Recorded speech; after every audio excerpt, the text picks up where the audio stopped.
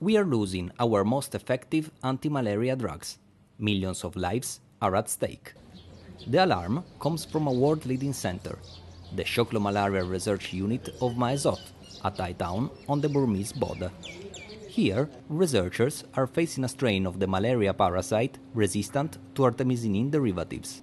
This resistance makes these drugs less effective and could eventually render them obsolete. SMRU, it's a field station of the Mahidol Oxford Research Unit in Bangkok, which is a collaboration between Oxford University and Mahidol University in Thailand. And it's uh, doing operational research on malaria and providing healthcare to the population living on the border between Thailand and Myanmar. The resistance to artemisinin derivative was described around 2004 in Cambodia, and it started here between 2006 and 2008.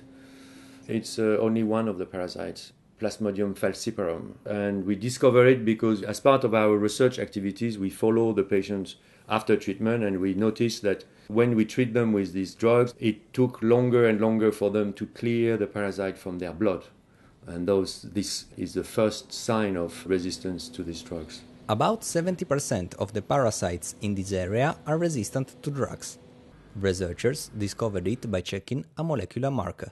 So, how long it will take to reach uh, India and, uh, and Bangladesh, we don't know, but we think it's a matter of only a few years. And unfortunately, there are some people, for example, at the WHO, who think it's not an emergency and that we have time to deploy, you know, long-term strategy to deal with this. But our understanding is that it is an emergency and that what we call the containment programs, which started in Cambodia to try to keep it in Cambodia, have failed because now it's already here and it's already in Vietnam and it's probably already in Myanmar somewhere to the west. And if we continue to do the same strategy, then there is no hope that it will stop. So we must be much more aggressive to stop it. What could happen if it reaches Africa? Millions of deaths.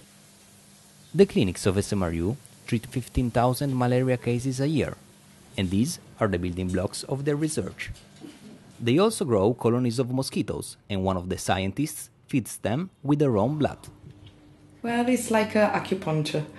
It is it is painful, especially when you feed more than 500 mosquitoes. So yeah, it's not pleasant.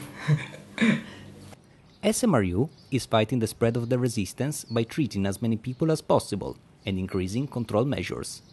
But this clinic alone cannot stop this spread. What institution and government can do is to adopt policies and strategy which are aiming at eliminating malaria and not just controlling it.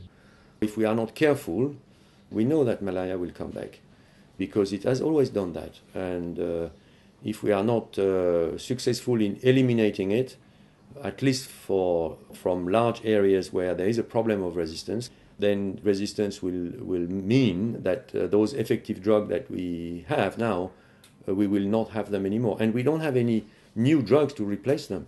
It takes about 10 years to develop a new treatment, and we don't have 10 years in front of us, so we need to do something about it.